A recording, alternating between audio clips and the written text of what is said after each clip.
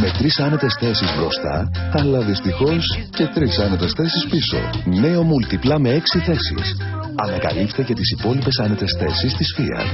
Fiat Dopplo με 7 θέσεις.